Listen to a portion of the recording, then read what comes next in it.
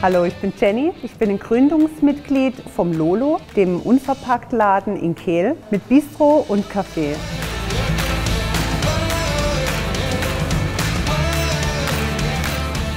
Also die Location kommt also durch die Bank weg gut an. A, die Tatsache, dass mir die Kirche wirklich erhalten habe und auch versucht habe, wirklich viele Elemente von der Kirche zu erhalten. So, die Idee ist ganz klar Müllvermeidung. Mir ertrinke im Müll.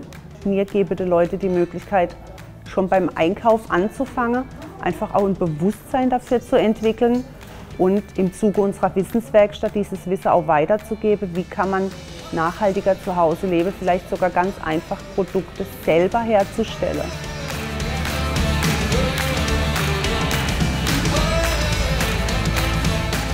War uns natürlich nicht nur bei unseren Lieferanten und Produzenten wichtig, dass äh, die Nachhaltigkeit eine große Rolle spielt und auch der, der ökologische Gedanke, sondern auch bei unseren Partnern, was unsere Geräte angeht, wie beispielsweise das Thema Wassereinsparung pro Spülgang. Und da sind die Produkte, die wir haben, natürlich top.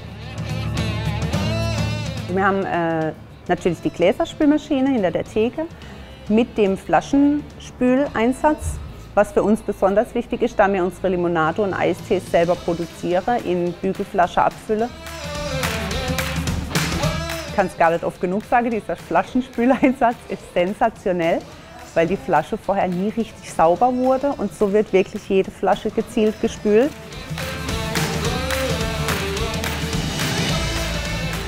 die Möglichkeit, eben diesen einen großen Kombidämpfer in zwei kleine, also mit denen arbeite ich wahnsinnig gern. Einen benutze ich fast nur zum Backen, während ich im anderen dann äh, Dinge produziere, also sei es das Gemüseröste für die Grundsoße oder für die Suppen.